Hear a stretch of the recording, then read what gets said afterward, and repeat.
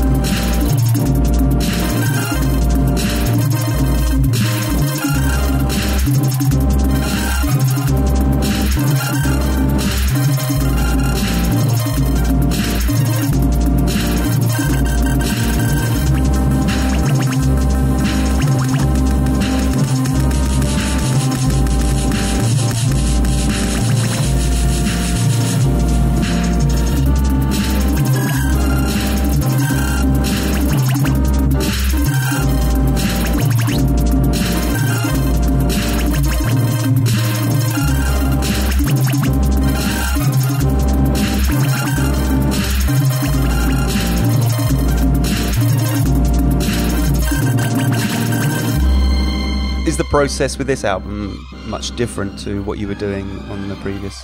Um, I wouldn't say it's different. It's the way I make music is I I'm I'm I'm always prepared in terms of uh, the methods I use. So at the moment when I love someone or hate someone or think about something, I just sit down and just make some sounds. And can you tell us a bit more about this laboratory, this process that you're because you you know you are you're making some incredible sounds and how how do you go about it? Um, so I started playing instruments a long time ago. Uh, when I was younger, I, I, tried different instruments. I was playing um, a lot of bass, bass guitar, jazz bass, improv, Im- improvs, and throughout time I tried modular synths, um, tried different synthesizers, softwares, but then my studio kind of shrinked into one computer.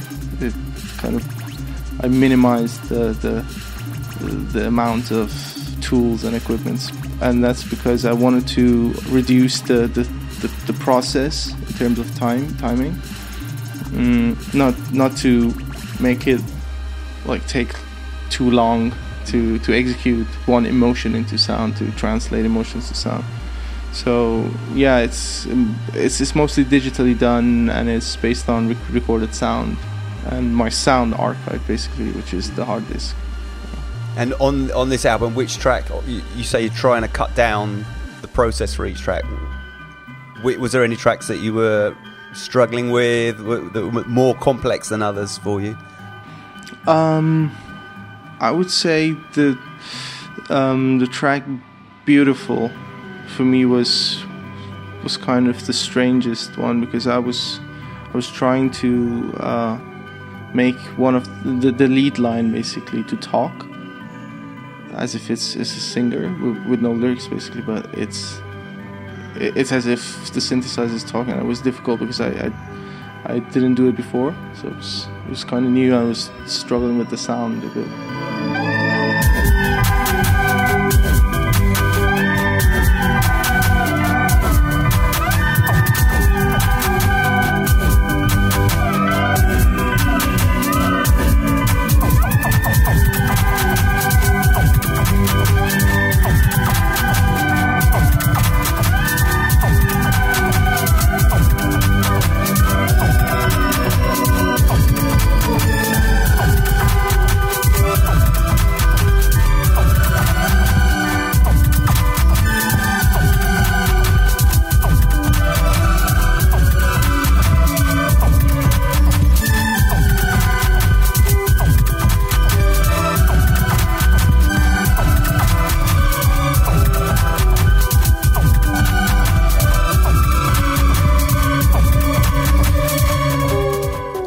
You get if you are struggling with a track that you just shelve it and move on?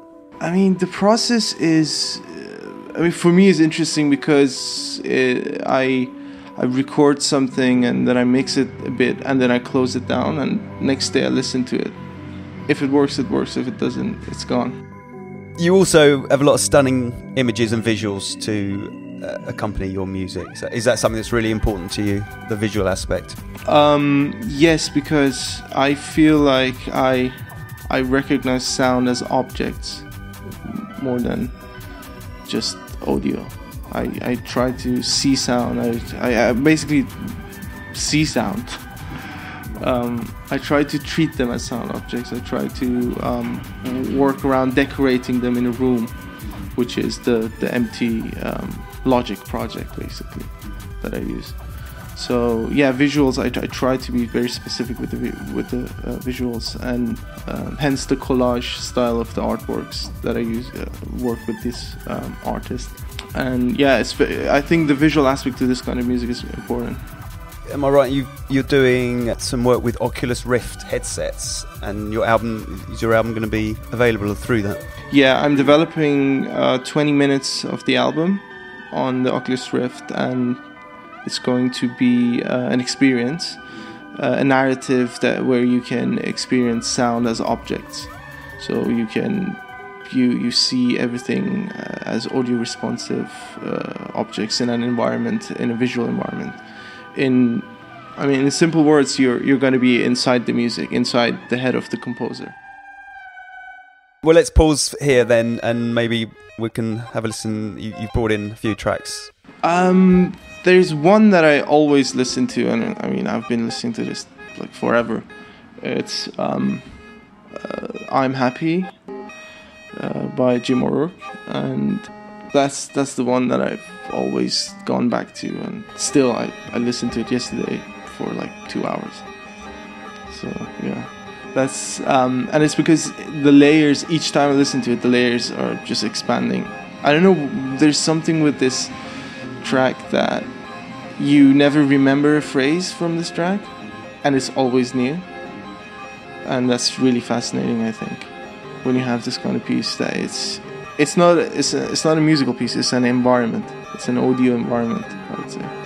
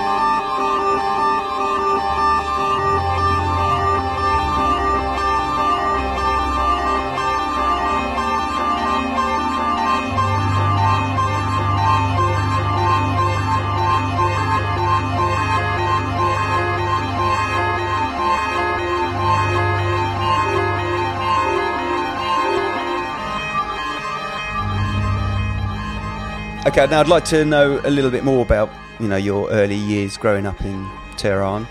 Uh, I know you sort of travelled to Frankfurt as well. Is that right through your dad's work? But what music was sort of seeping into your consciousness at this time, at an early age? What were your family listening to? What were you hearing?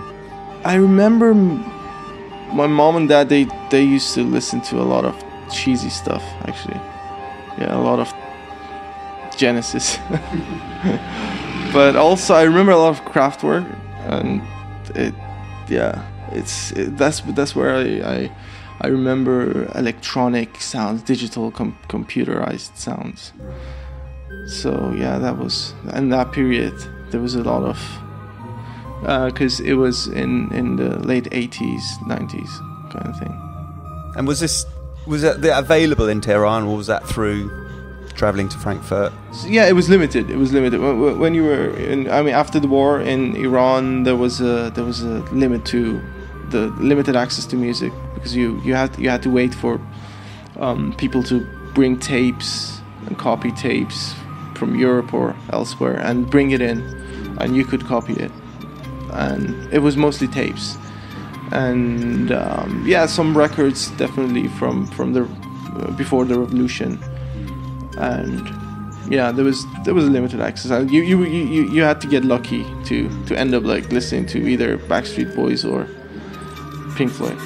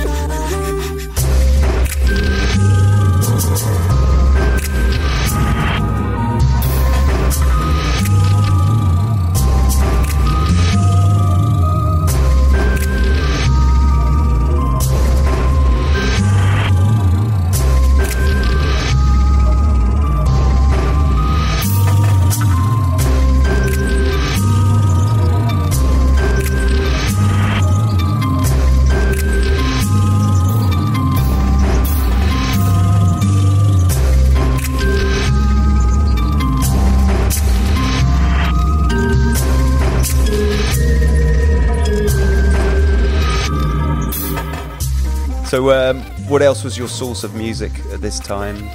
Before the internet, it was all uh, black market tape people like selling you compilations and yeah, random albums.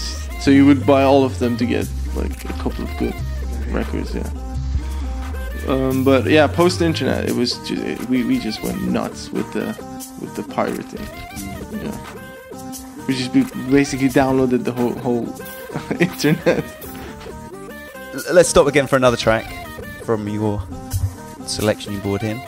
The second one is the tango by uh, Zbigniew Preisner, if I'm yeah pronouncing that right, um, and it's from the film uh, White. It's the soundtrack to uh, the movie White, and this one goes way back when I was 18, so it has this really special place in my head, um, and the amount of passion and and the, and the strings that he's written it's just yeah it's it's almost as you're you're disconnecting from this world via this music.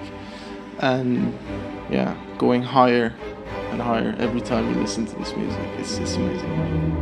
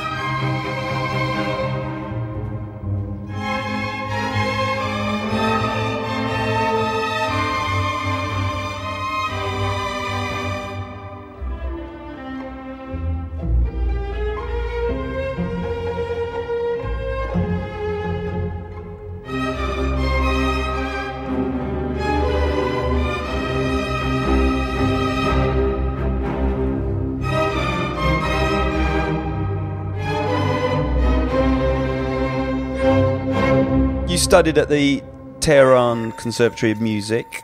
How was that for your sort of musical development? Was it a forward-thinking place, or was it more traditional? I mean, more important than anything, it was seeing other musicians and playing with them every day. Different bands, different instruments, and that made me understand music, musical elements from different angles and different aspects of. Uh, the genres from classical Iranian to uh, European classical music and jazz and blues. Yeah, it was especially the first year. It was crazy. It was everyone was just picking an instrument, jamming.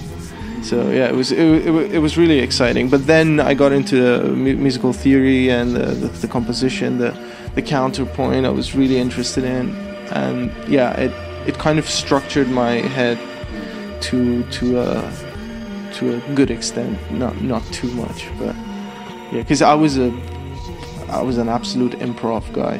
Just pick up something and make some noise. But then it structured me to a good limit. But did they was it were you encouraged to improv? Was it was it the environment that they want you to try out different things, different styles? Um, yeah, I think it was because uh, you're um, you don't get a lot of places where you can jam with random people. It's either your local group or the underground band you have in Iran. So this was interesting because I, I, I, I could meet up with different mentalities in music. And it, sometimes it was actually super weird because you, you, you would get three, it was a, a duel kind of thing. Three uh, traditional Iranian instruments against three jazz musicians. It was like, yeah, some sort of battle for for one hour. I remember once we we jammed for one hour, non-stop. I was like on a solo for one hour. so yeah, that was mental. It it kind of improved our improv skills and how to we, we learned how to create phrases and react to one another to sound to instruments. And so what was the what led you to kind of take your path down electronic music? The only thing that was missing when i was in that school was electronic music.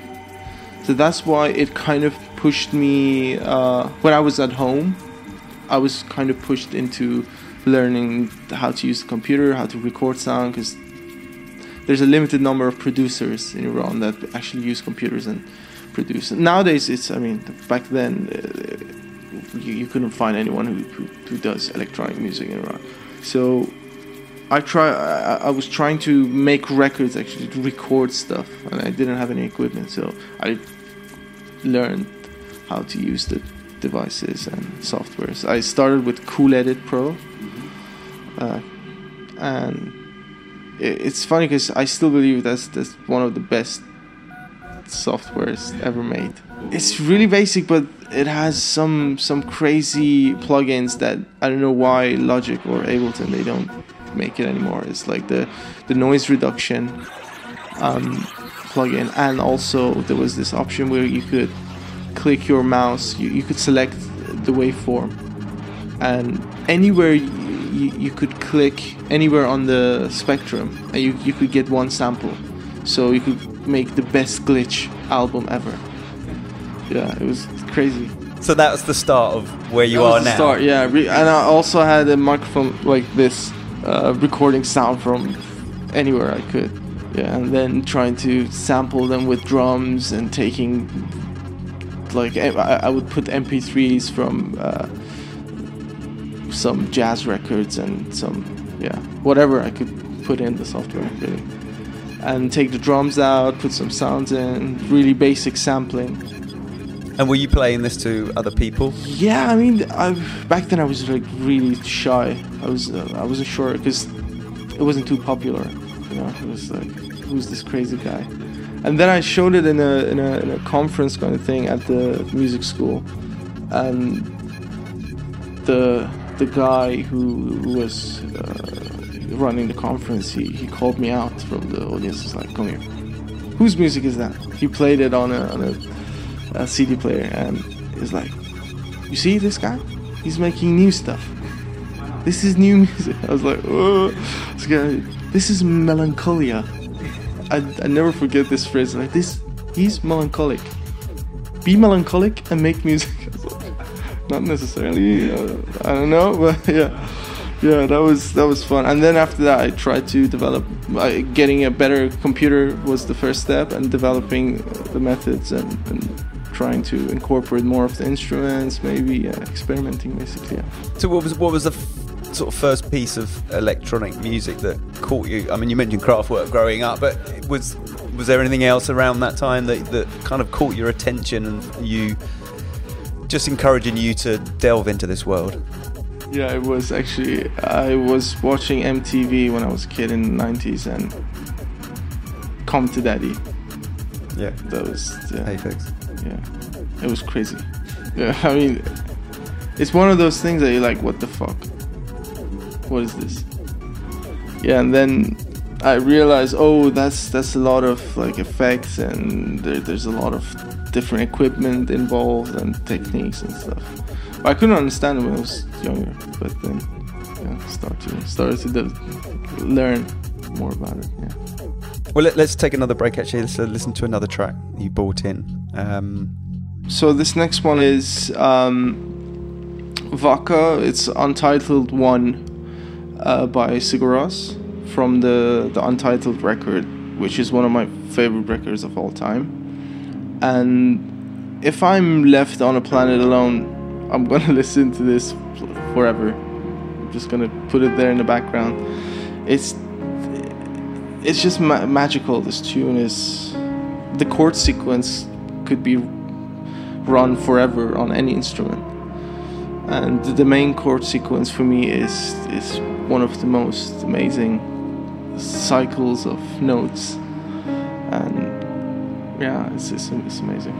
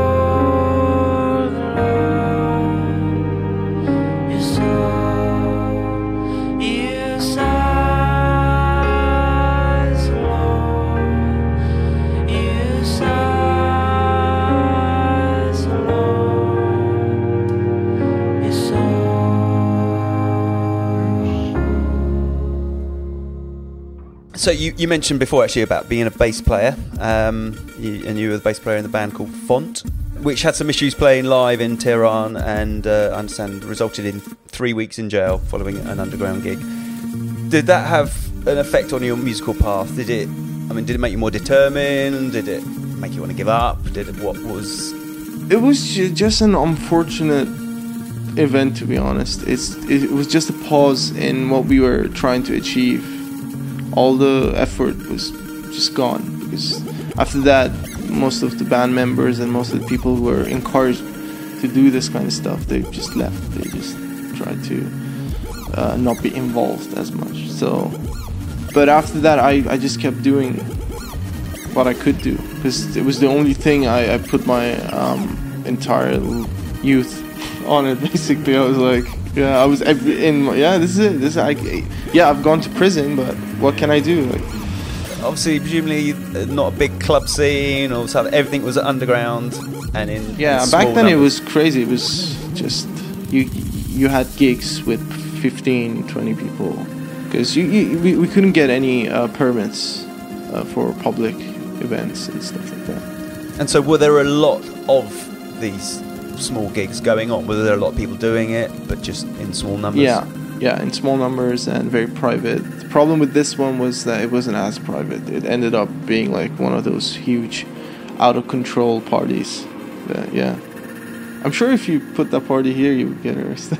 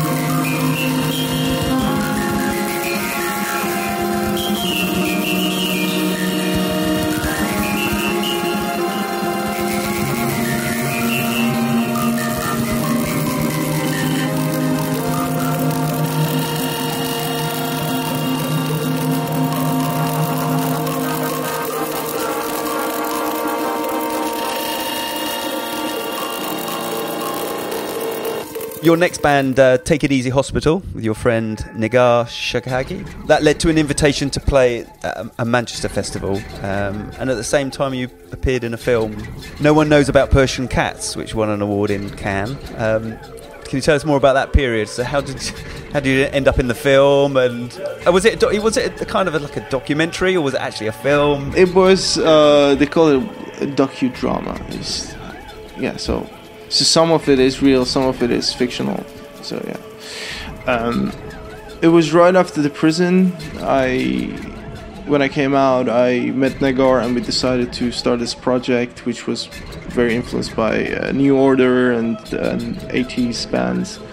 Um, we were just experimenting, discovering new things, and then we got invited by MySpace to um, to In the City Festival in Manchester and yeah, and right, right before we wanted to leave Iran for the mini tour, we kind of contacted people and we, we, we set up some gigs.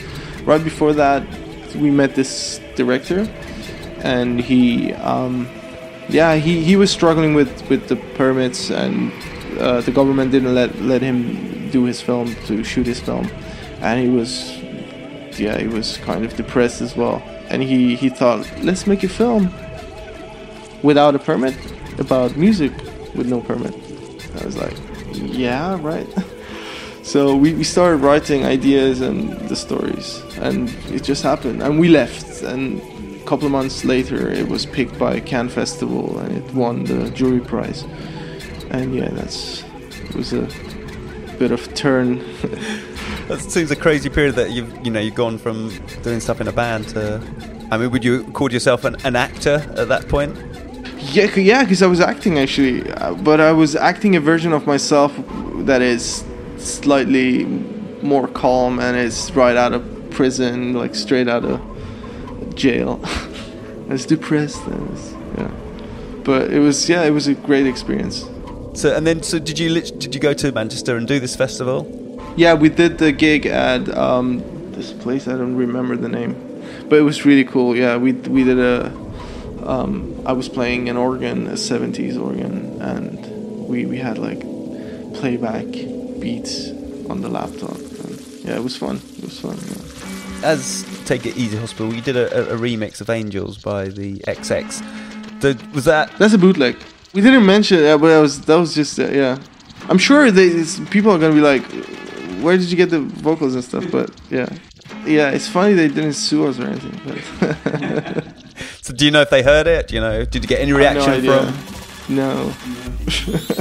you also did a remix for Ultra Neveu uh, and Empress of last year. So it, I mean, is your process with remixes much different from just your own productions? Um, not really, because I uh, treat remixes as recompositions reproductions basically. I don't use sounds from uh, sometimes i say it's it's not necessary to send me stems because i i want to recreate that music. Um, so it's not a remix kind of it's like a remake kind of thing but it's called a remix anyway yeah. So it's kind of the same process except there's a vocal line. I use the vocal line and create another track basically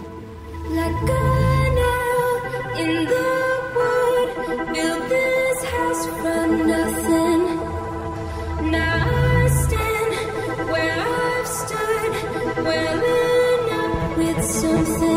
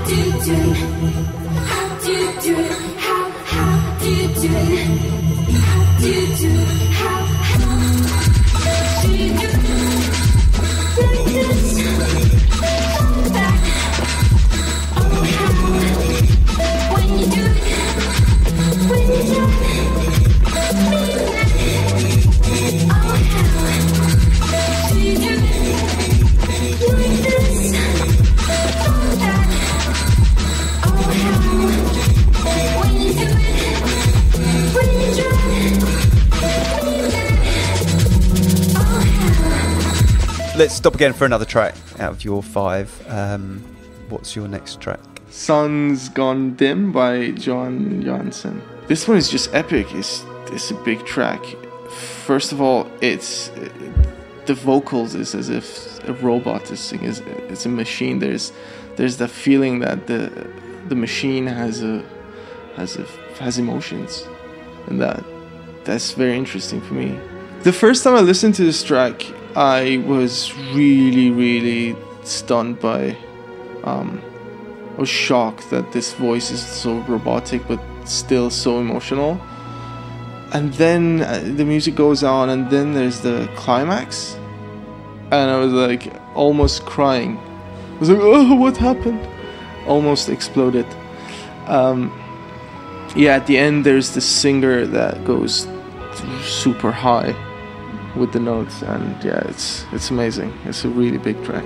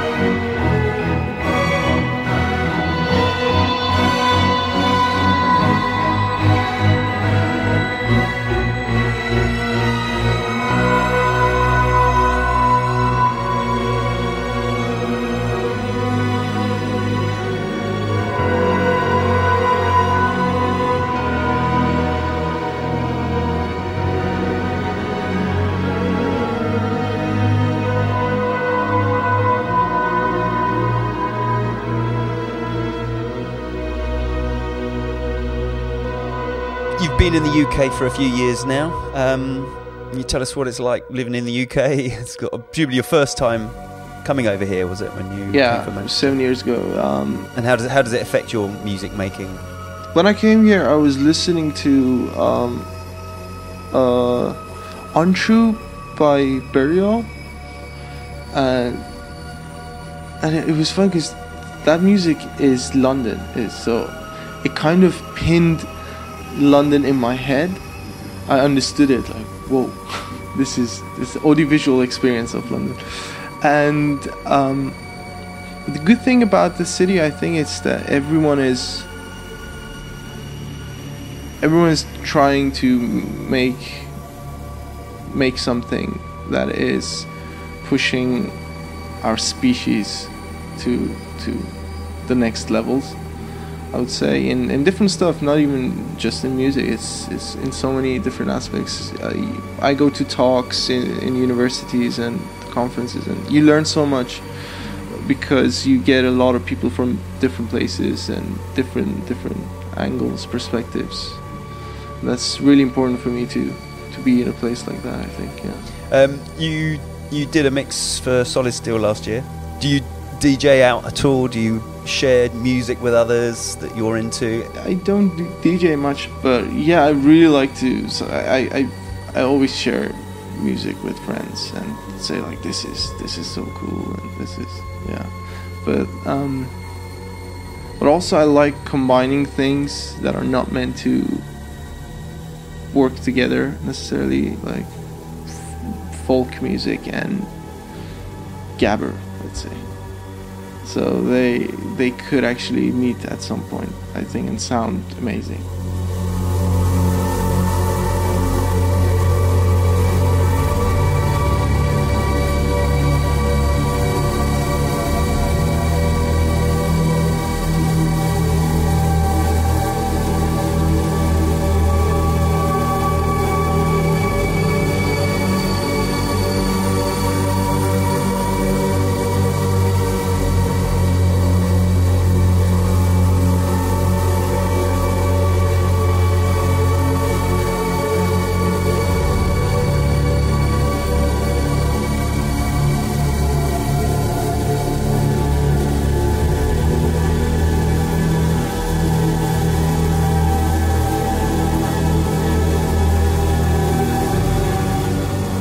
Recently completed your own film Fermata.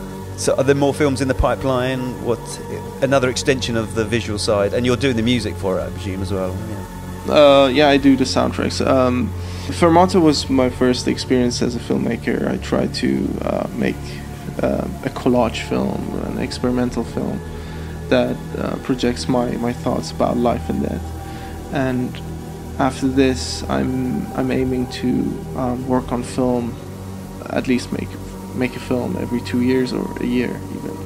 And uh, at the moment, I'm working on uh, three s- different scripts and see which one is realistic for the second film, for the next film. So, you got one more um, track you've brought in with us. Yeah, um, this track from Sakamoto is it's amazing. Um, for me personally, it's it's been put on one of my favorite scenes in cinema ever from the film Babel uh, by Iñárritu, and it's it's amazing because it the whole film is so intense emotionally, but this this this piece of music it calms everything down, and it's it's as if it's all right at the end. It's you're fine. It's it's fine. It's this is life. With, with all the craziness, the parallel stories that happens, at the end it's just life. And and yeah, the girl is staring out from a balcony, and it's. I remember that scene every time I listen to this. Yeah, and I I mean the, in terms of composition, it's very unique as well. I think it, it, it works every time I put it on.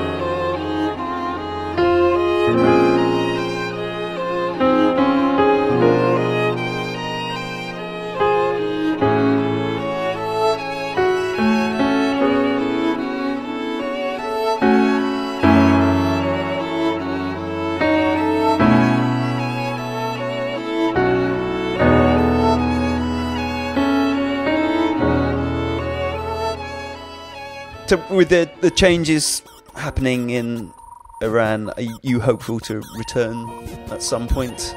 It was it's funny because when when I was thinking about music, I always thought that I'm going to travel the world, make music, and and end up doing what I do. But it seemed that it's not in the real world. It's not something you, you, you we, we were not privileged to do that. So hopefully one day we're privileged to live in Iran and just do music and travel around and yeah, be be connected. You know, it's it's important. But yeah, maybe. So, what are your plans for this year? Have you got any live dates? You, what, what would would you do live? Yeah, a couple of shows are coming. Um, starting from March in Convergence Festival. Um, I'll be playing the first show as an audiovisual set, uh, having um, it's it's a short set, but I'm I'm gonna do visuals uh, on that show. But uh, I'm I'm developing a, a, virtual reality tool for live music, so hopefully this summer, and um, after that I'm gonna try experiencing that tool actually live. So I'm I'm gonna be playing with virtual reality headset and and see how it works for the audience. Yeah. So everyone wearing a. Oh no, it's actually I'm gonna be the one who's wearing this. you just watch. just watching you and enjoy the experience. but uh, there, there are going to be points that you, you uh, the audience see the, the the visuals from what I do. But I think for me, because I'm I'm a bit of a I my I feel like I'm make music, I'm composing, and I want want to be in my own shows in a way. So if I'm on the stage, I wanna I wanna be in the, in the studio. It's, it's as if I'm in my own studio and also there. So it's yeah. That sounds great, and, I'm sure we'll all enjoy it. Well, um, I think that's about it. So um, thanks very much for, for coming in. And uh, I, aka I, is out on uh, Ninja Tune.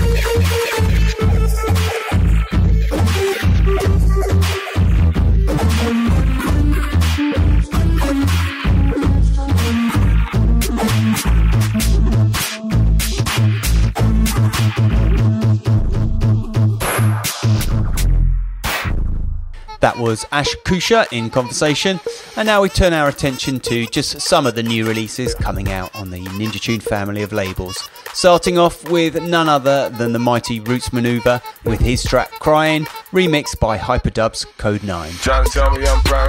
Trying to tell me don't do this, yeah. trying to tell me I lost my way, trying to tell me it's foolish, trying to tell me about life itself when none of you people know me. Yeah. When that life I seen being cut short, death don't go so slowly. When he was in life like I lose, ain't the wonder I'm a user.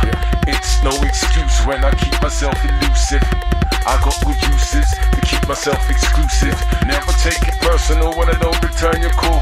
When the few in this world want favors and I just can't do them all. Yeah. Damn right, that's the life I choose. If you're a friend indeed, then it won't be news to you. I'm crying for the day. I'm crying for the day. Yeah. Can't say why, but I'm crying for the day. I'm crying for the day. I'm crying for the day. Yeah. That's how I feel. I'm just crying for the day. Crying for the day.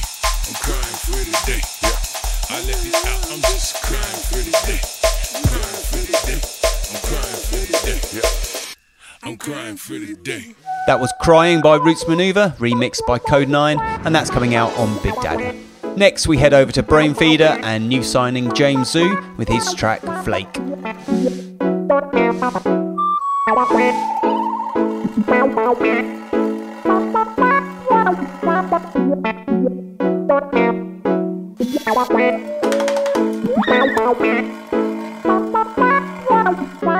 Bye.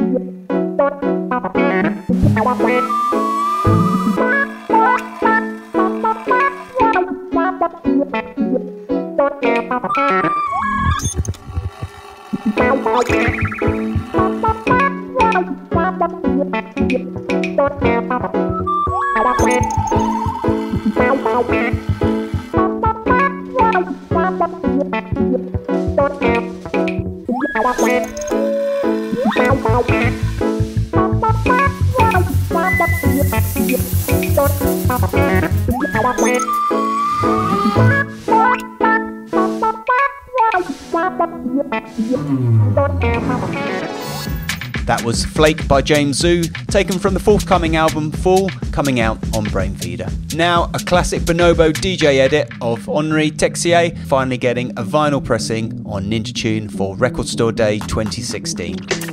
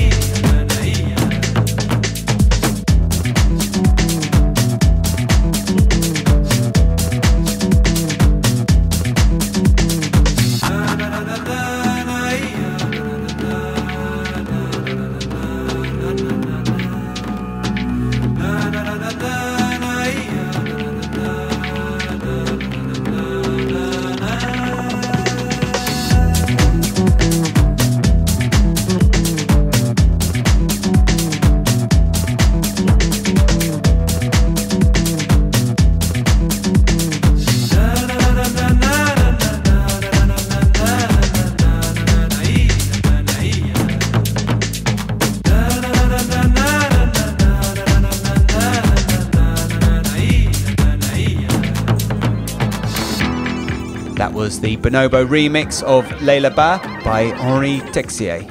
Next, we feature Max Graef and Glenn Astro teaming up together with a track called The Yardwork Simulator coming out on Ninja Tune.